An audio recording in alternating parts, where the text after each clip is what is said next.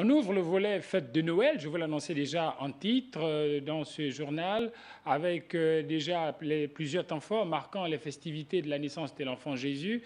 La messe reste donc le point culminant. À Franceville, dans la province du Haut-Ogooué, elle a été dite à la cathédrale Saint-Hilaire. Les meilleurs moments de cette messe avec Jacob Moukwangi, Gabon Télévision Franceville.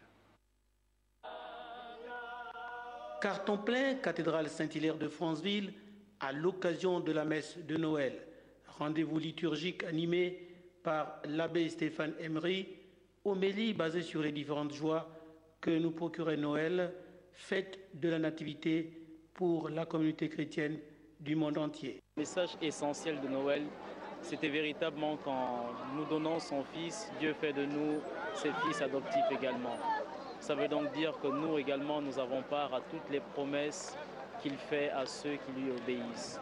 Et donc le principal message de Noël, c'est que ce Jésus que nous célébrons et qui est né dans une crèche doit également naître dans chacun de nos cœurs pour que l'amour grandisse en nous et que la communauté humaine s'édifie sur des valeurs comme l'amour, la charité et l'entraide entre les hommes. Gloria in excelsis Deo, traduction littérale, gloire à Dieu au plus haut des cieux, l'hymne chanté par les anges pendant la nuit de Noël a profondément enchanté les fidèles véritablement exulté suite à l'arrivée de l'enfant Jésus, sauveur de l'humanité. En tant que fidèle, Noël signifie la naissance de notre Seigneur Jésus-Christ. C'est une joie qu'on célèbre cette fête chaque année.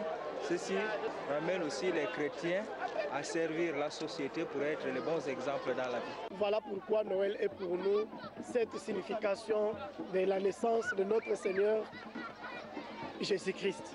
Pour nous, les chrétiens, la, nouvelle, la Noël nous rappelle la naissance de Jésus-Christ, le Fils de Dieu qui est venu sur terre pour sauver le monde.